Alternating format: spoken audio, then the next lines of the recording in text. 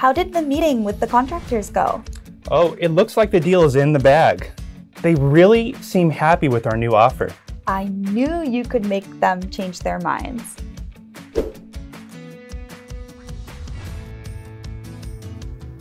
This time, our expression is in the bag.